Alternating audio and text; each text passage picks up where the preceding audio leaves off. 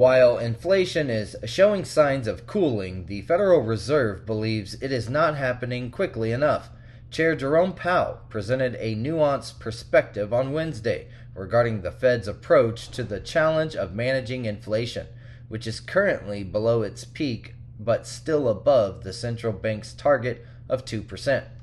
Powell indicated that the Fed plans to give it more time and potentially implement additional interest rate hikes to address the situation. Despite this cautious stance, Powell expressed optimism that the necessary trends to further slow inflation are beginning to take shape. These trends include lower rents and slower wage growth, which are expected to contribute to a decrease in inflationary pressures, the Associated Press has reported. Now, in light of these factors, the Federal Reserve decided to maintain its benchmark interest rate at around 5.1% during its meeting on Wednesday.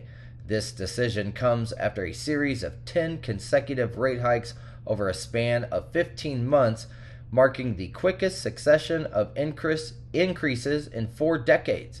By keeping rates unchanged, at least for now, Powell and other top officials at the Fed aim to assess the impact of higher borrowing costs on inflation and the overall economy.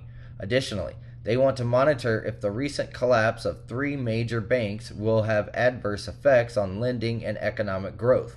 In a surprising indication of a more hawkish stance, the Fed officials released projections suggesting the possibility of two additional quarter point rate hikes by the end of the year. Prior to the policy meeting, experts anticipated that the officials would signal only one more rate increase in the year.